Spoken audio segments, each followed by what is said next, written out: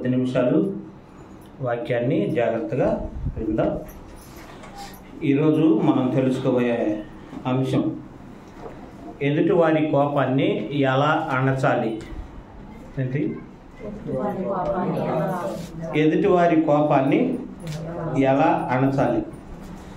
ఎదుటివారు ఎవరు ఎవరైనా సరే చివరికి దేవుని కోపమైనా సరే ఎలా అణచాలి? కోపాన్ని రేపటం గొప్పతనమా? కోపాన్ని అణచటం గొప్పతనమా? అణచటం గొప్పతనం. అవునా కదా? కోపాన్ని రేపేవాడు మిత్రభేదాన్ని పుట్టిస్తాడు. కోపాన్ని అణిచేవాడు ఇద్దరి మధ్యన సమాధానాన్ని కలిగిస్తాడు.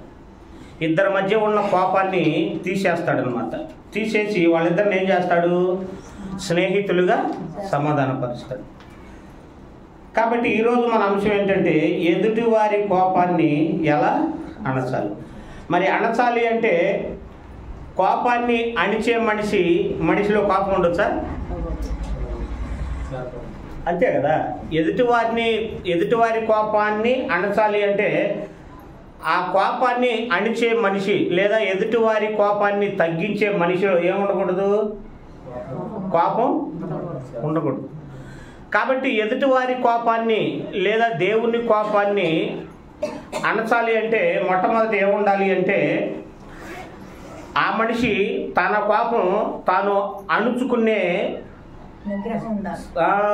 నిగ్రహం ఉండాలి. తనే తన కోపమే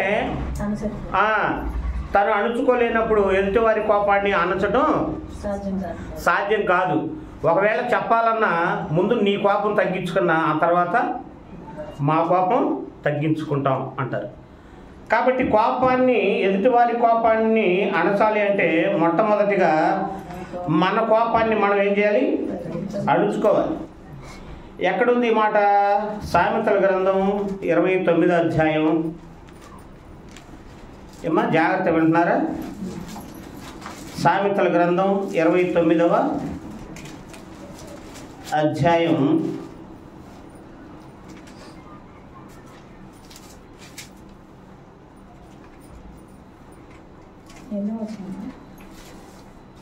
పదకొండవ వచ్చిన ఇరవై తొమ్మిది అధ్యాయం తీశారా? బుద్ధిహీనుడు బుద్ధిహీనుడు తన కోపమంతా తన కోపమంతా కనబరుస్తాడు. బుద్ధిహీనుడు తన కోపాన్ని కనబరుస్తాడు. అలాగని బిడ్డల మీద కోపపడే కోపం వేరు. తల్లిదండ్రులు బిడ్డ మీద కోపపడే కోపం వేరు.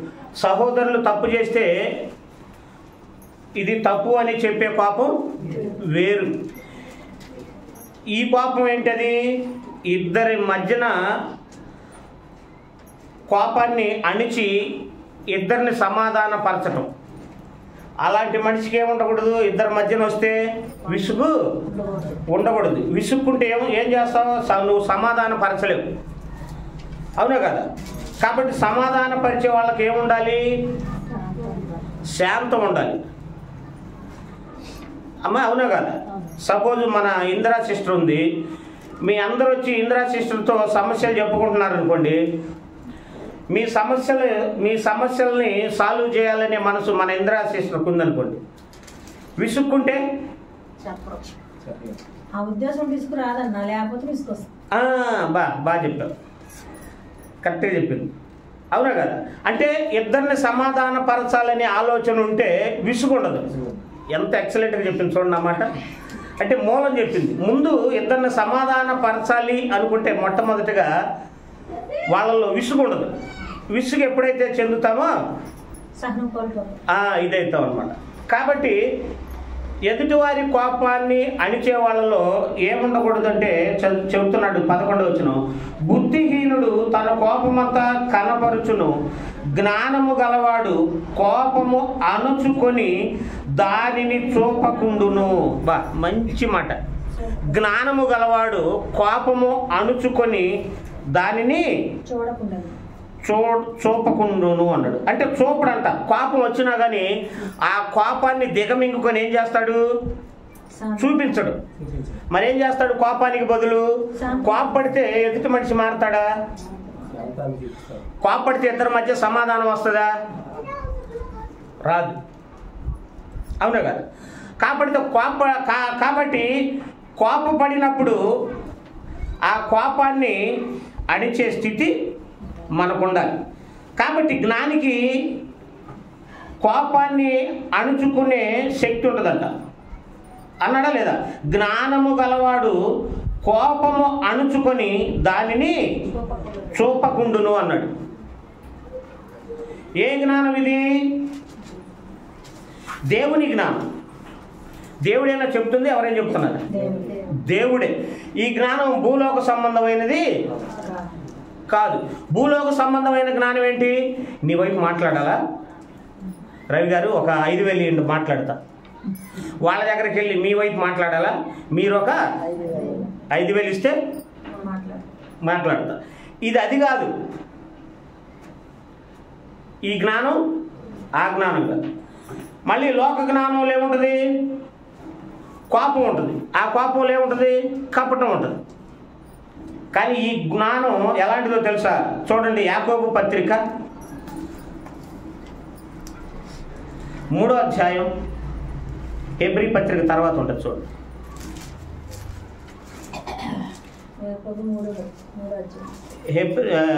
యాకో పత్రిక మూడో అధ్యాయం తీసారా అమ్మా పదిహేడవ వచనం నుండి. చూడండి దేవుడు ఎంత అద్భుతంగా చెబుతున్నాడో. మనం లెగిస్తే బిడ్డల మీదనో భర్త మీదనో లేదా సమాజం ఏదో ఒకటి కోపం వచ్చే సందర్భం మనకి ఆ, తారసపడతానే ఉండదు అయితే అయితే పైనుండి వచ్చే జ్ఞానము పై అయితే పై నుండి వచ్చు జ్ఞానము మొట్టమొదట ప- పవిత్రమైనది. మొట్టమొదటి ఏముంటది? పవిత్రమైనది. అంటే ఆ- ఆ కోపంలో ఏముండదు తెలుసా? స్వార్థం ఉండదు. పవిత్రమైనది. ఇప్పుడు మన జ్ఞానం మనం కూడా దేవుని జ్ఞానులు అనుకోండి మొట్టమొదట మనలో ఏముంటది? పవిత్రత ఉంటుంది. తరువాత సమా తర్వాత సమాధానకరమైనది. అంటే మనం ఒకళ్ళకి శత్రువులుగా ఉండం. మనం అందరితో ఎలా ఉంటాం? సమాధానంగా ఉంటాం. శత్రువుని సైతం మిత్రులుగా చేసుకొని కోపం వచ్చిన అణుచుకొని ఎలా ఉంటాం? స్నేహితులు అయిపోతాం. అయిపోవాలి. మరి మీరు అయిపోతున్నారా? అయిపోతే మంచిది. మృదువైనది. మృదు అంటే. ఎంత స్మూత్ అనమాట సెన్సిటివ్ శుతిమెత్తని మనసు అంటారు చూసారా మృదువైనది. అంటే పైనుండి వచ్చే జ్ఞానం ఎలా ఉంటుంది? మృదువైనది. అంటే మాట్లాడేటప్పుడు మాట ఎలా ఉంటుంది? కరుకుగా ఉంటుందా? మృదువుగా ఉంటుంది. మృదువైన మాట. ఆ, మృదువైనది. సులభముగా లోబడినది. కనికరముతోను మంచి ఫలముతోను నిండుకొనినది. పక్షపాతమైనను. ఆ పక్షపాతమైనను వేషధారణ అయినను. లేనిదై. పక్షం ఏం ఏం లేదంట అందులో? పక్షపాతమైనను. అంటే ఇద్దరు మన మధ్యలోకి వచ్చారనుకోండి. కొంచెం- కొంచెం అంతే. ఇద్దరు మన మధ్యలోకి వచ్చారనుకోండి ఒకళ్ళు ఇష్టమైన వాళ్ళ వైపు మాట్లాడతాం. ఇష్టం కాని వాళ్ళ వైపు ఏం చేస్తాం?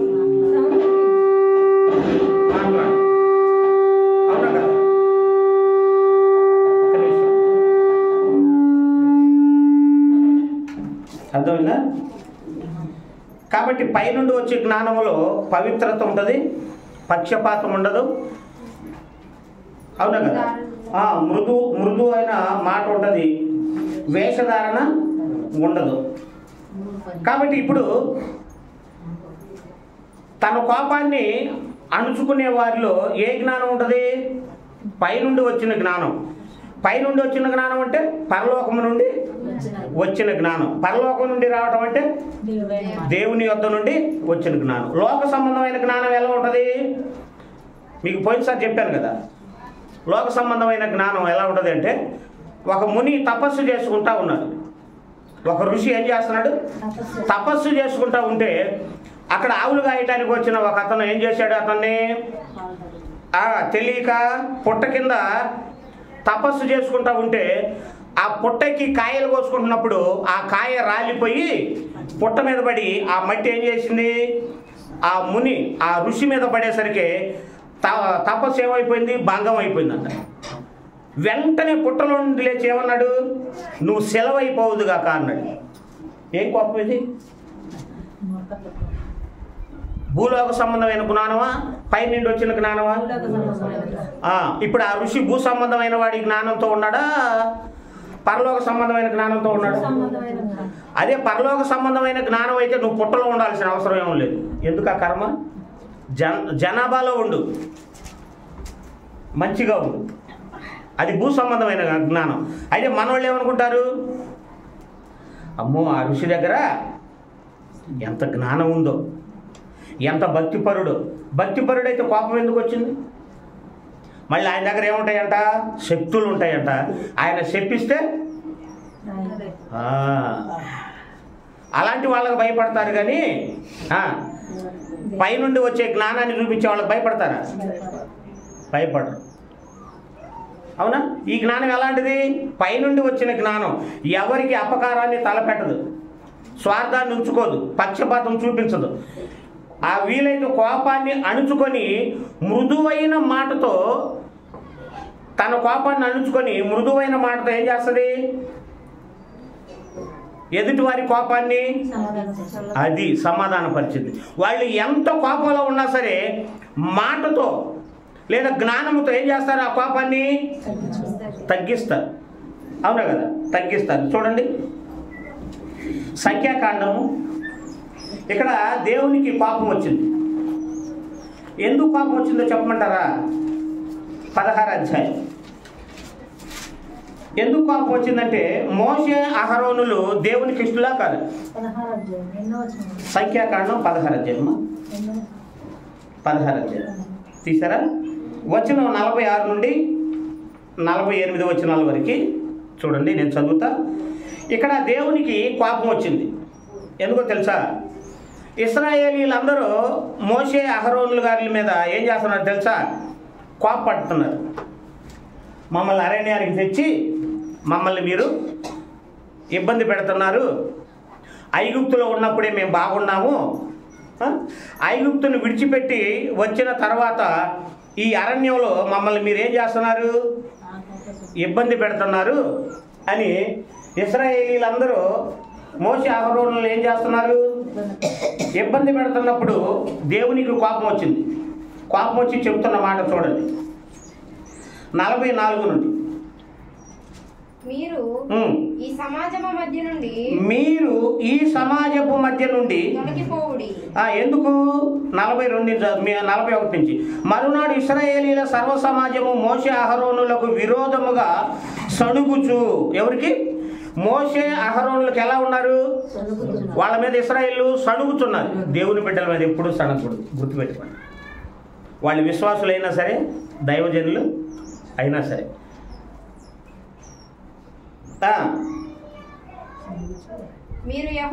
విరోధముగా సణుగుచు మీరు యెహోవా ప్రజలను చంపితిరని చెప్పి సమాజము మోసే అహరోనులకు విరోధముగా కూడెను.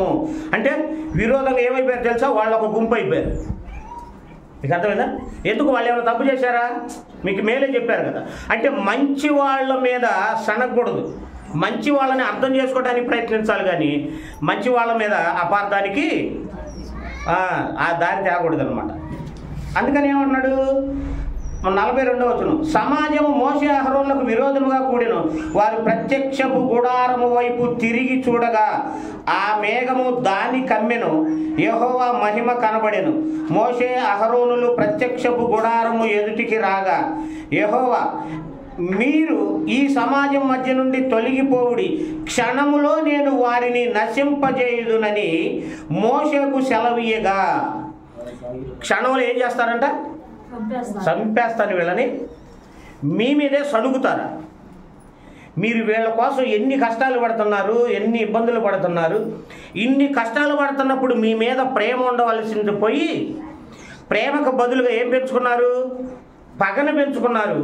పగన పెంచుకొని మిమ్మల్ని మిమ్మల్ని గురించి మంచి మాటలు చెప్పకుండా ఏం చేస్తున్నారు? సణుగుతున్నారు సణుగుతుంటే ఏం జరుగుతుంది? ఒక్క క్షణంలోనే వీళ్ళని చంపేస్తానని నలభై ఐదు వచనాలు అంటున్నాడు. క్షణములో నేను వారిని నశింపజేయదునని మోసేకు సెలవీగా. వారు ఏం చేశారు? ఎవరు సాగిల పడింది ఇదేంటి? నన్ను చంపా నన్ను చంపుతానంటే నేను సాగిల పడాలి మీకు అర్థమైందా?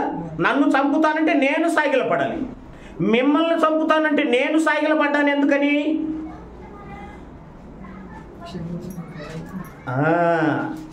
అరే తిట్టింది నన్ను కదా. తిట్టింది నన్ను మోసేనైనా నన్ను నా సహోదరుడైన అహరోన్ని. మీరు నన్ను తిడితే ఆయన ఏమంటున్నాడు? మిమ్మల్ని నశింపజేస్తాను అంటున్నాడు. ఎన్ని రోజుల్లో? క్షణంలో నశింపజేస్తా అన్నాడు. అదే లోక సంబంధమైన జ్ఞానం అనుకోండి నాది. చంపుతావా? నేను అదే అనుకుంటున్నాను ఎప్పుడు చంపుతావా అని. ఎందుకని? నా గురించి వీళ్ళు సణుక్కుంటున్నారు. నా గురించి వీళ్ళు చెడ్డగా చెప్పుకుంటున్నారు. వీళ్ళంతమంది నేను ఎక్కడ చంపాలి? కాబట్టి నువ్వు చంపితే నాకెంతో సంతోషం. లోక జ్ఞానం అలాంటిది. క్రైస్తవంలో కూడా ఇలాంటి జ్ఞానం ఏడ్చింది ఇప్పటికి కూడా. ఇలాంటి జ్ఞానం ఉంది. ఒకళ్ళ మీద ఒకళ్ళకి ఏముంటుంది? సణుగులు క్షమాపణలు ఉండదు. కానీ వీళ్ళు ఏం చేశారు? క్షణంలో చంపుతానంటే వీళ్ళు ఆ మాటని టక్కన సాగిల పడ్డారు. ఎందుకని? అమ్మో నీ కోపం వస్తే వీళ్ళని చంపుతావు. వీళ్ళని చంపితే మేము ఉండలేము. మేము ఉండలేము. కాబట్టి నీ కోపాన్ని అణచాలి అంటే మేమేం చేయాలి? సాగిల పడాలి. ఏం చేయాలి? వీళ్ళ కోపం వచ్చిందా? వాళ్ళు ఇస్రాయేల్ లక్షల మంది సణుగుతున్నారు వీళ్ళని. ఇస్రాయేల్ ఇస్రాయేల్ లక్షల మంది ఏం చేస్తున్నారు? సణుగుతున్నారు. కానీ ఆ సణుగులు భరించి కూడా వీళ్ళకి ఏం రాలేదు? కోపం రాలేదు ఏం రాలేదు? అదే మనకైతే దేవుడిని యొక్క మనసు లేని వాళ్ళైతే దేవుని ఆత్మ లేకపోతే మనకేమొస్తుంది పాపం వస్తుంది. మన వాళ్ళు దేవుని ఆత్మ ఉంటే ఇలాంటి లక్షణాలు చేయరు. దేవుని ఆత్మ ఉంటే ఏం చేస్తారంట? భాషలు మాట్లాడతారంట.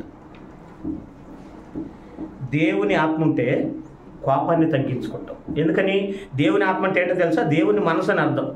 దేవుని మనసు నీకుంటే ఎన్ని సణుగులైనా భరిస్తావు. ఎన్ని అవమానాలైనా భరిస్తావు. వాళ్ళని క్షమిస్తావు. ఈ జ్ఞానం ఎక్కడి నుండి వచ్చింది? పై నుండి వచ్చిన ఈ జ్ఞానం ఇది. లోక సంబంధమైన జ్ఞానం కాదు మరి ఇలాంటి జ్ఞానంలో మనం ఎవరినైనా ఎవరైనా ఉన్నామా?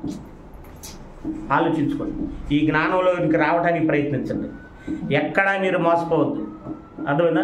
నామకార్థ సహవాసాల దగ్గరికి వెళ్ళి నామకార్థమైన బోధలు విని నామకార్థంగా భక్తి చేసి ఆ నామకార్థంలోనే మన చివరి దినాలు ముగించే విధంగా మన జీవితాలు ఉండనే ఉండకూడదు. మనం భక్తి చేస్తున్నాము అంటే వందలో ఒకరోజు వంద మాటలు చెప్తే కనీసం నాలుగైదు మాటలైనా సరే మన మనసులో భద్రం చేసుకునేటట్టుగా ఉండాలి. కోపపడి స్నేహితులను చేసుకోలేము కోపాన్ని అణుచుకొని స్నేహితులను సంపాదించుకోగలం. అవును కదా?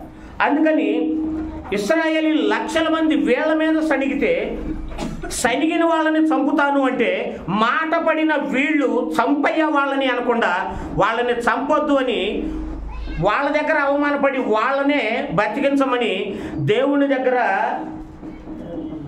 వెంటనే సాష్టాంగపడి నమస్కరించారు అంటే దేవునికి ఎట్టాకుండా ఉండదు ఒళ్ళు పులకరించిపోయి ఉండదు బిడ్డలు ఏం నా బిడ్డలు. యేసు నా కుమారుడైన యేసు ప్రభు వచ్చి శిలువ మీద చంపుతున్న వాళ్ళని తండ్రి వీరేమి చేయుతున్నారు? వీరు ఎరగరు అని చెప్పక ముందే యేసు ప్రభు అప్పటికి వచ్చాడు భూమి మీదకి. యేసు ప్రభు శిలువ మీద క్షమించక ముందే యేసు ప్రభు కంటే ముందున్న వీళ్ళు యేసు ప్రభు లక్షణాలతో ఏం చేస్తున్నారు తెలుసా? నన్ను సని మమ్మల్ని సరిగిన వీళ్ళని వీళ్ళని ఏం చేయకూడదు? నువ్వు చంపేయద్దు అన్నది అంటే వాళ్ళ మీద ఏం లేదనమాట మనకు కూడా మనకు నచ్చని వాళ్ళ మీద మనల్ని అపార్థం చేసుకున్న వాళ్ళ మీద కోపం వస్తుందేమో చూసుకోవాలి మనం. కొట్టిన తిట్టిన ద్వేషించిన దూషించిన ప్రేమ ఉండాల్సిందే తప్ప దేశం ఉండనే ఉండకూడదు. ఒకవేళ దగ్గరుంటే నీకు బాగలేదా? ప్రస్తుతానికి కొంచెం దూరం వెళ్ళిపో. ప్రస్తుతానికి కొంచెం దూరంగా ఉంటుంది అంతే తప్ప వాళ్ళని మాత్రం సహవాసం ద్వారా విడిచిపెట్టడం దేవుడు ఒప్పుకోడు కాబట్టి వీళ్ళు ఏం చేశారంట?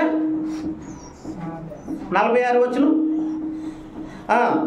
మోసేకు సెలవీగా వారు సాగిలపడిరి అప్పుడు మోసే నీవు దోపార్తిని తీసుకొని బలిపీఠము నిప్పులతో నింపి ధూపం వేసి వేగముగా సమాజమునొద్దకు వెళ్ళి వారి కోసం ప్రాయశ్చిత్తము చేయిపో. పాత నిబంధనలో పాపం చేస్తే వాళ్ళ కోసం ప్రాయశ్చిత్తం చేస్తే దేవుడు కోపం తగ్గింది. తెలుసా? ఎవరైనా పాపం చేశారనుకోండి వెంటనే ఏదో ఒకదాన్ని బలిస్తే కోపం తగ్గింది. అందుకని మోసే గారు ఏమన్నా తెలుసా? అమ్మో ఈయన కోపం వచ్చిందని చెప్పి అయ్యా నీ కోపాన్ని ఆపుకో అని చెప్పి సాగిల పడి వెంటనే ఏమైపోయారు? దేవుని కోపం తగ్గించాలి మనం అహరోను అని చెప్పి. ఏమన్నాడు? ప్రాయశ్చిత్తము చెయ్యిపోమని పంపించాడు.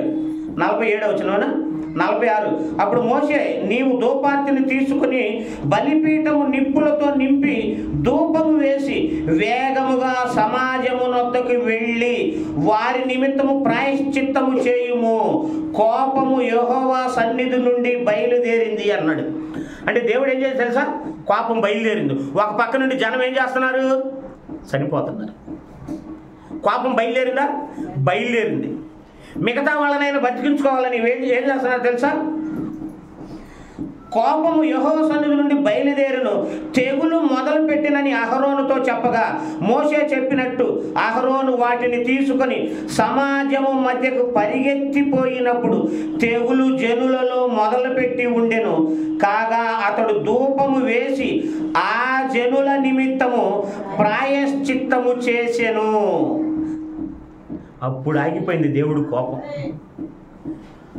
అంటే వాళ్ళని తిట్టిన వాళ్ళనే వాళ్ళు ఏం చేశారు? కాపాడారు. తిట్టిన వాళ్ళని తిట్టడం కాదు గొప్పతనం. తిట్టిన వాళ్ళని కాపాడటంలో ఉంది గొప్పతనం. అది పైనుండి వచ్చిన దేవుడు జ్ఞానం. దేవుడి జ్ఞానం. నలభై ఎనిమిది. అతడు చచ్చిన వారికిని బ్రతికి ఉన్న వారికిని మధ్యను నిలవబడగా తెగులు లేదా కోపం ఆగిపోయిందంట. దేవుని కోపం ఏమైపోయింది? ఆపేశారా? వీళ్ళు దేవుని కోపాన్ని ఆపడానికి ముందు వీళ్ళ కోపాన్ని ఏం చేశారు? అణుచుకున్నారు. వాళ్ళు సణిగిన దూషించిన ఏది చేసినా వీళ్ళకి ఏం రాలేదనమాట కోపం రాకపోగా వాళ్ళ మీద పగ తీర్చుకునే అవకాశం వచ్చినా తీర్చుకోలే. అదే మనైతే అవకాశం రాకపోతే ఏమంటాం? వాడిని క్షమించి వదిలేస్తున్నా. ఏం చేస్తాం?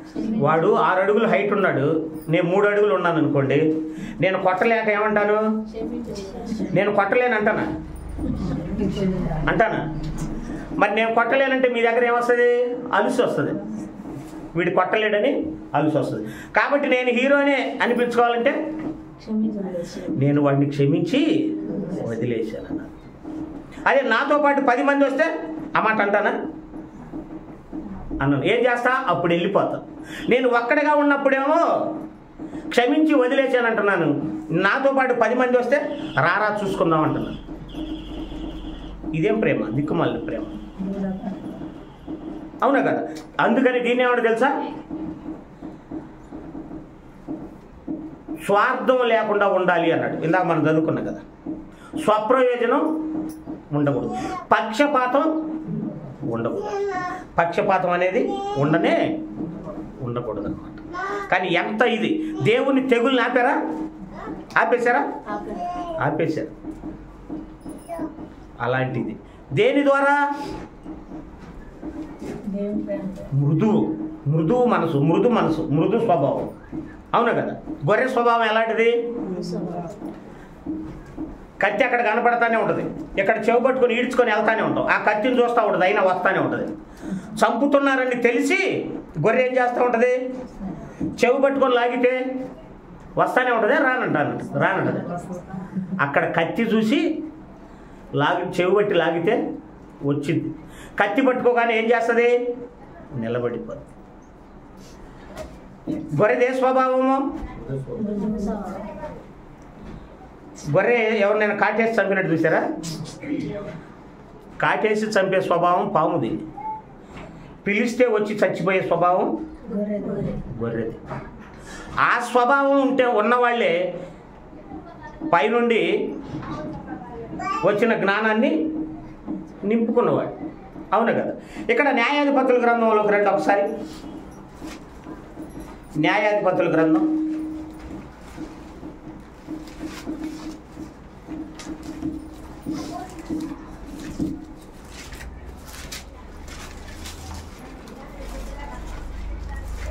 ఎన్నో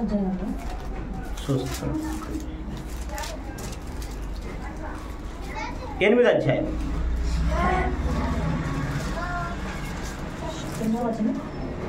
అమ్మా? ఎనిమిది అధ్యాయం మొదటి నుంచి. అప్పుడు ఇక్కడ గిద్యోను గారు జాతు గిద్యోను గారు మిద్యానీయుల మీదక ఏ యుద్ధానికి వెళ్తాడు? ఏం చేస్తాడు? యుద్ధానికి వెళ్తాడు. యుద్ధానికి వెళ్ళినప్పుడు మిద్యానీయుల మీద యుద్ధానికి వెళ్ళినప్పుడు అక్కడ ఎఫ్రాయిమీలు ఉంటారు. అప్పుడు వాళ్ళు అంటారు ఈ గిద్యోను మహా డంబం గలవాడు. మిద్యానీయుల మీద యుద్ధానికి వెళ్ళేటప్పుడు మమ్మల్ని పిలవచ్చు కదా.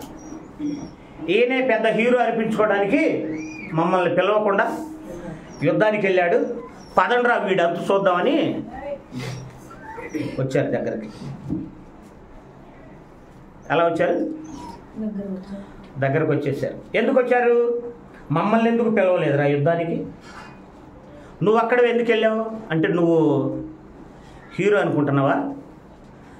అన్న ఉద్దేశంతో వాళ్ళందరూ వచ్చారు. వచ్చినప్పుడు ఏం జరుగుతుంది?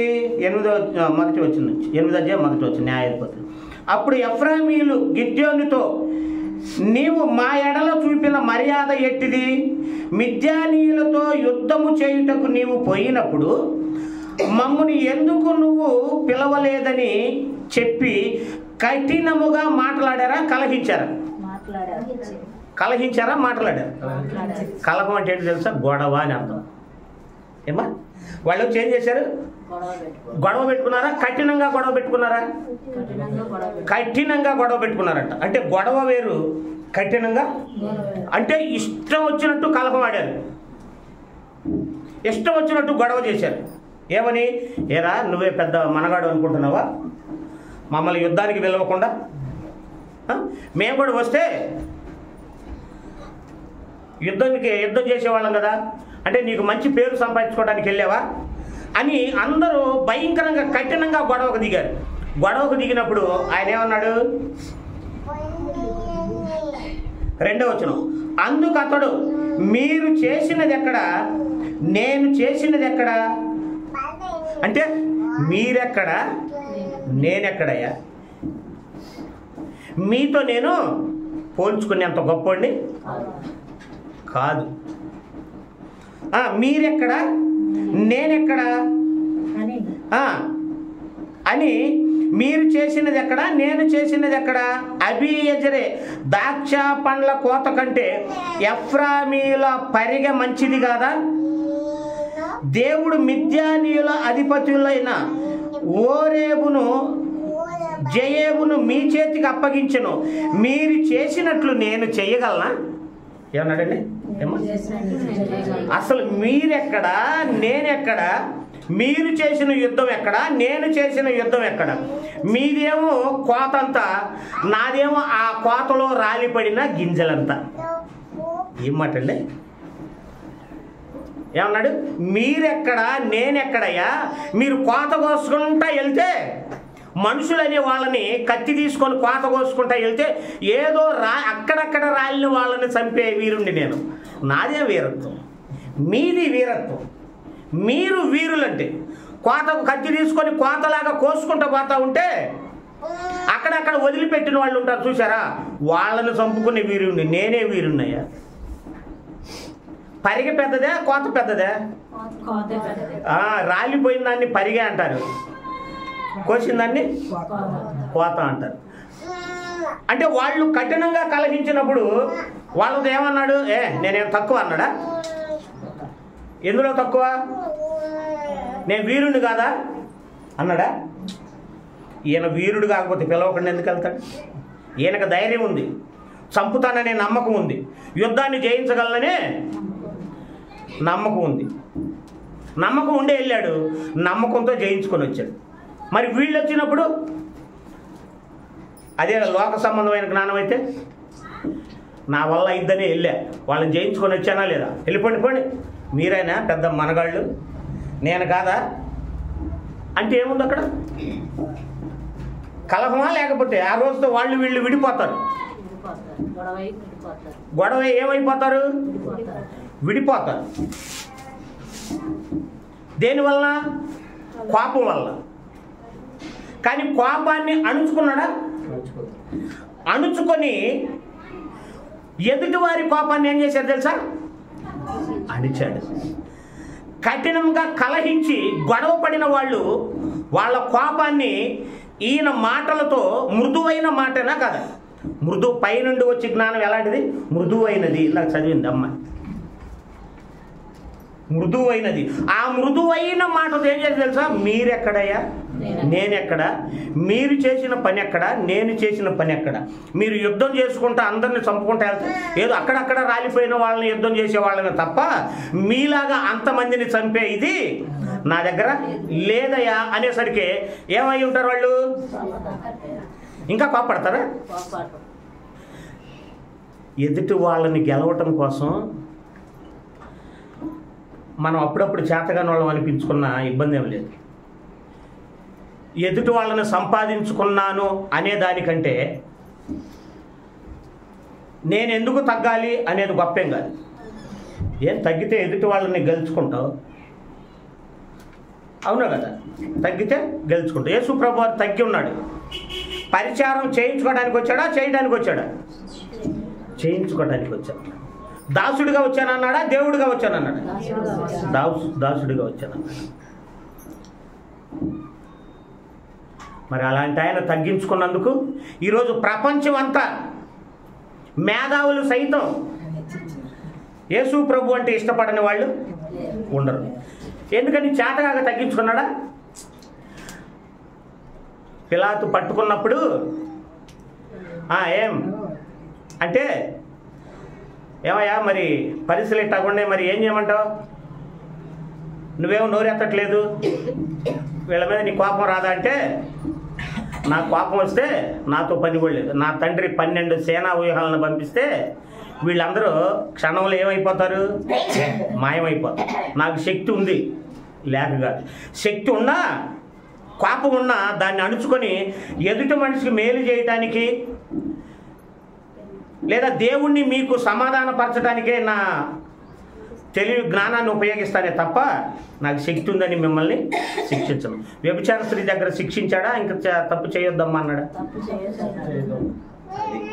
అది గొప్పది. అవునా కదా?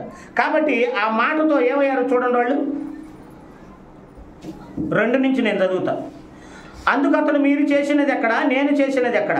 అభి ఎదురు ద్రాక్ష పండ్ల కోత కంటే ఎఫ్రయిమీల పరిగ మంచిది కాదా? దేవుడు మిద్యానీయుల అధిపతులైన ఓరేవు జయేబు మీ చేతికి అప్పగించను. మీరు చేసిన చేసినట్లు నేను చేయగలనా? అనెను. అందుకు అతడు ఆ మాట అన్నప్పుడు అతని మీద వారి కోపము ఏమైందమ్మా? తగ్గాను అన్నాడు. అంటే పాపాన్ని తగ్గించారా? తగ్గించారు కోపడ్డందుక ఈయన కోపాన్ని అణుచుకున్నందుక? కోపాన్ని అణుచుకొని మృదువైన మాట మాట్లాడాడు. కదా మన మాట కూడా మనకు మిత్రులు కావాలంటే పెద్ద నోరే నోటి మాటే. పగ పగస్తులుగా చేయాలన్నా స్నేహితులుగా చేయాలన్నా నోటి మాటే. మాట ఏమైంది? నేను తక్కువ వాడినయ్యా అంటే ఏమైంది? అక్కడ ఏమైపోయారు? ఏమయ్యారు అక్కడ? అతడు ఆ మాట అన్నప్పుడు అతని మీది కోపము ఏమైందట? తగ్గాను. తగ్గిపోయింది అన్నాడు. ఎప్పుడైనా గుర్తుపెట్టుకోండి జీవితం అనేది ఒకే ఒక్కసారి వస్తుంది. సత్యం అనేది ఒకే ఒక్కసారి దొరికిద్ది మనకి. ఆ ఒక్కసారి జీవితం ఇచ్చినప్పుడు దీన్ని ఎలా దేవునికి వినియోగించాలా అనే నిర్దిష్టమైన ఆలోచన తీసుకోవాలి. రెండోది నా జీవితాన్ని దేవుడికి వినియోగించే విషయంలో సత్య సంబంధమైన సహవాసం ఎక్కడ దొరికిద్దా అని మీరు ఆలోచించినప్పుడు ఆ అదృష్టాన్ని చేజిక్కించుకున్నప్పుడు దాన్ని విడిచి మీరు ఎప్పటికీ వెనక్కి తిరగకూడదు. ఎందుకంటే దేవుడు మాటనిచ్చాడు పరలోకాన్ని నుంచి జ్ఞానం ఇచ్చాడు ఎలా క్షమించాలో ఎలా మాట్లాడాలో ఎలా ప్రవర్తించాలో బైబిల్ని ఇచ్చాడు. అర్థం చేసుకున్నట్టు చెప్పగలిగే దైవజనుడిని ఇచ్చాడు. ఇంకేం కావాలి?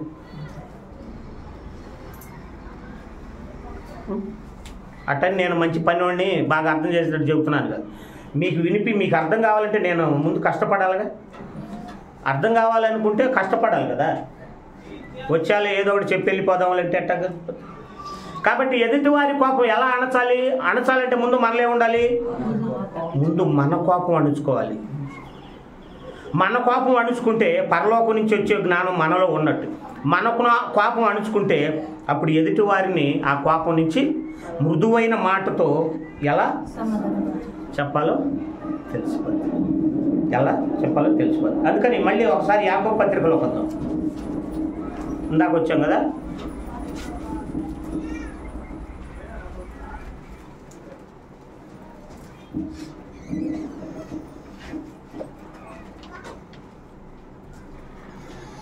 యాకో పత్రిక. మూడో అధ్యాయం. పదిహేడు నుంచి.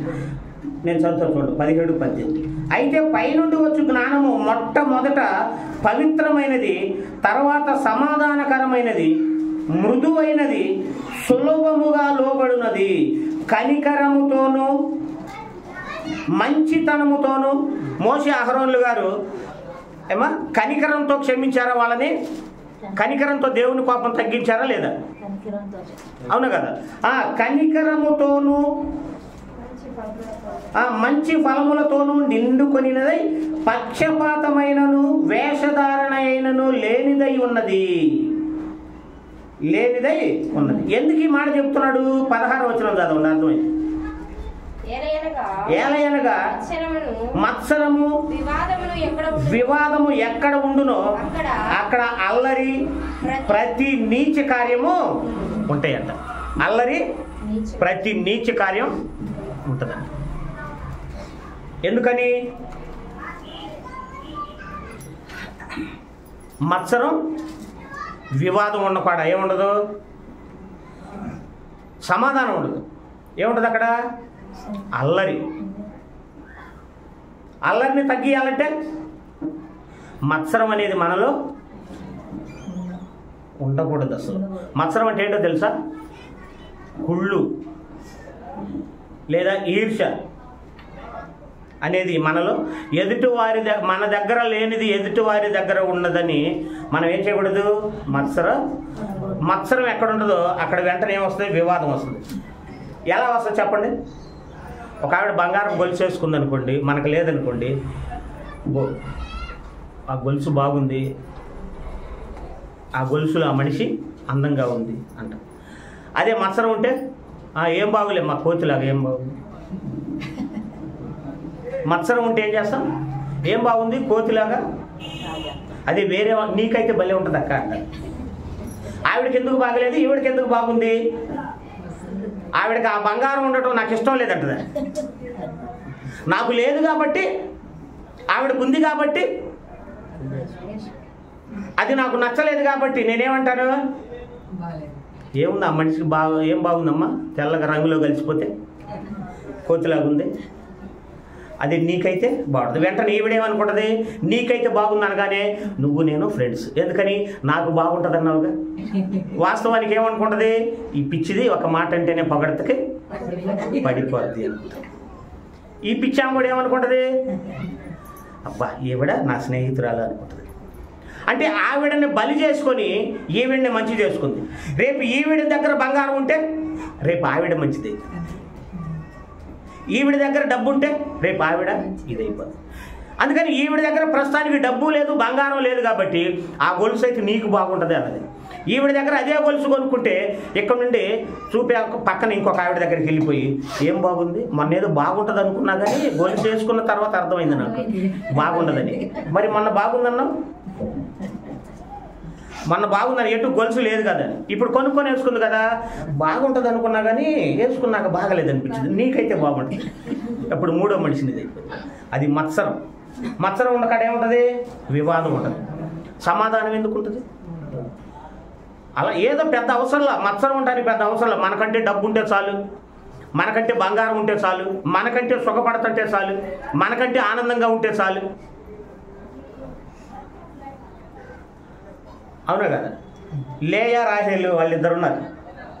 భర్త అక్కడే ఎక్కడ పడ్డ మత్సర పడ్డారు తెలుసా? ఒక భర్త దగ్గరే.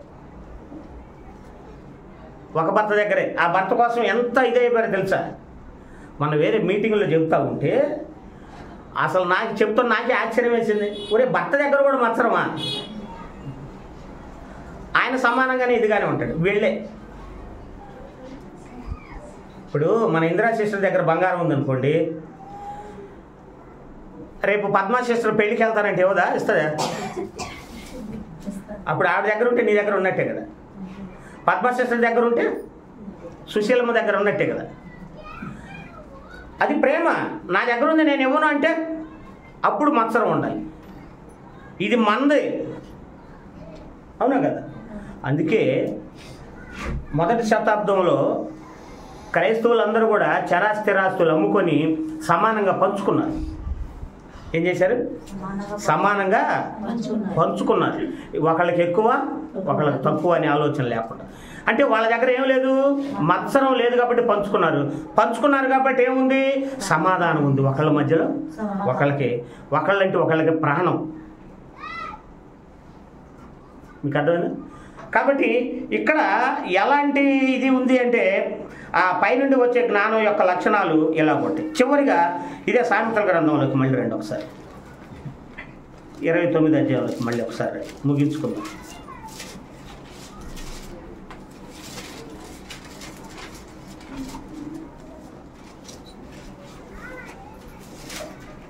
ఇరవై తొమ్మిది తీసారా? ఇప్పుడు ఎనిమిది చదవండి. ఇందాక పదకొండు చదువుకున్నాం కదా? ఎనిమిది నుండి చదువుకుంటారండి. బాగుంటుంది. అపహాసకులు. పట్టణమును తల్లడిల్ల చేయుదురు. అపహాసకులు అంటే ఏంటో తెలుసా? మంచి మానవత్వం అనేది ఉండదు. నాలుగు బాంబులు తీసుకున్నారనుకోండి ఎక్కడెక్కడ జనాలు ఉన్నారో వాళ్ళ మీద వేసేస్తారు అంతే. అపహాసకులు అపోస్తులను ఏం చేశారు? చిత్రహింసలు పెట్టారా లేదా? ఏం చేశారు? ఎవరికి అన్యాయం చేశారు? దేవుడి గురించి చెబుతున్నారు అంతే కదా? మీ బంగారం ఇవ్వండి మీ డబ్బులు ఇవ్వండి మీ ఆస్తులు ఇవ్వండి అన్నారా? అయినా కానీ ఏం చేశారు అపహాసకులు? అపోస్తులని? అవును కదా? చిత్రహింసలు పెట్టారు. ఆ, అపహాసకులు పట్టణమును తల్లడిల్ల చేయుదురు. బా జ్ఞానులు ఏం చేస్తారంట కోపాన్ని? అమ్మా ఇంద్రం సిస్టర్ చల్లారుస్తారంట. మరి మనలో జ్ఞానం ఉంటే ముందు భర్తకి జ్ఞానం ఉందనుకోండి ఏ జ్ఞానం? పైనుండి వచ్చిన జ్ఞానం. భార్య కోపాన్ని ఏం చేయొచ్చు? ఎలా? చిన్న మృదువైన మాట అవునా కదా? అలాగే భార్యకి దేవుని జ్ఞానం ఉందనుకోండి భర్త కోపాన్ని ఏం చేయొచ్చు? మృదువైన మాటతో చల్లారచ్చు.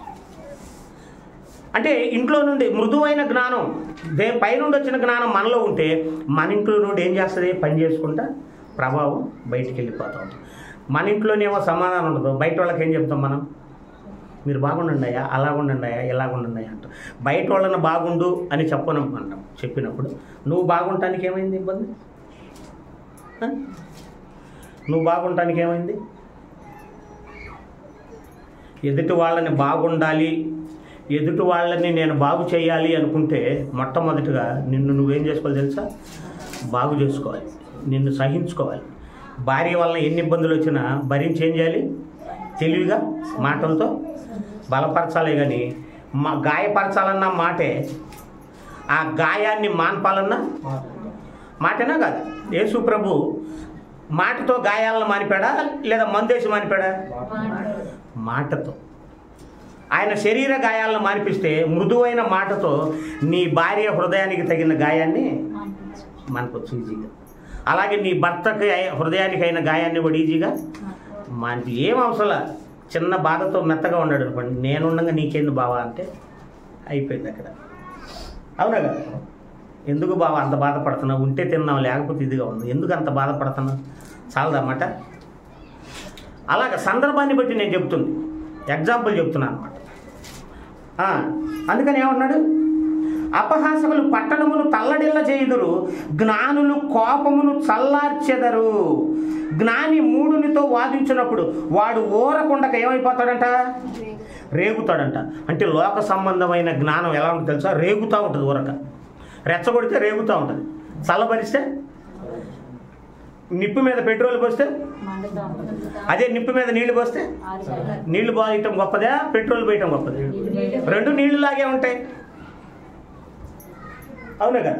కానీ నీళ్ళు పోయకూడదు. పెట్రోల్ పోయ పెట్రోల్ పోయకూడదు. నీళ్ళు పోయాలి. అగ్ని చల్లారిపోతుంది అలాగే మృదువైన మాటని మాటని మాట ఏం చేయాలి? భార్య కోపం అనే అగ్నిని ఏం చేయొచ్చు? ఇంటి అంటే నేను ఏం చెబుతున్నా అంటే ముందు ఇంటిలో నుంచి బయలుదేరదామని చెప్తున్నా. ఇంటిలోంచి బయలుదేరితే సంఘంలో ఆటోమేటిక్గా ఉంటుందా ఉండదు? ఎవరి కుటుంబం వాళ్ళ సమాధానం ఉంటే ఇంక సమస్యలు ఎందుకు ఉంటాయి? తర్వాత తొమ్మిది. జ్ఞాని మూడుతో వాదించినప్పుడు వాడు ఊరకుండక రేగుచుండును. నరహంతకులు నిర్దోషులను ద్వేషించుదురు. అట్టి వారు యథార్థవంతుల ప్రాణము తీయజూచుదురు.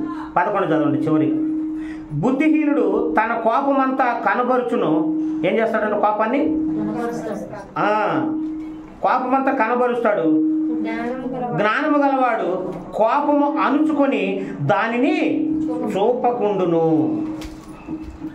మోసాహరంలో చూపారా? కోపాన్ని? దేవుని కోపాన్ని అణిచారా లేదా? అణిచారు. అలాగే గిజ్జోను గారు ఎఫ్రాయిమీల కోపాన్ని అణిచాడా లేదా? అణిచాడు ఇలా చెప్పుకుంటూ పోతే బైబిల్లో చాలా సందర్భాలు ఉన్నాయి. వాటిని మనం ఏం చేయాలి అంటే ముందుగా అలవర్చుకోవాలి. ఏం చేయాలి మనం? అలవర్చుకోవాలి.